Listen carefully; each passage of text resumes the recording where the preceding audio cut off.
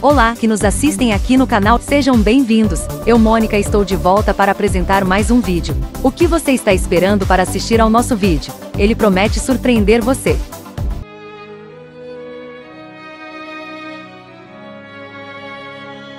O tempo passou por mim, sem deixar rastro. E a felicidade que eu procurava, nunca encontrei. Onde ela se esconde? Onde ela mora? Porque ela não aparece para mim. Sinto-me velho e triste, sem um riso no amanhecer. Minha voz rouca clama por socorro. Em busca da tal felicidade que me escapa. Mas só encontro solidão e dor. Sou jovem de idade, mas velho na alma. O peso da vida se acumula em meu peito. Não encontro a felicidade, só a tristeza. A velhice mais cruel é aquela sem amor e beleza. Ando a morrer na linha da vida, sem ter encontrado o que buscava. A felicidade é um sonho distante, que só me deixa mais triste e desolado.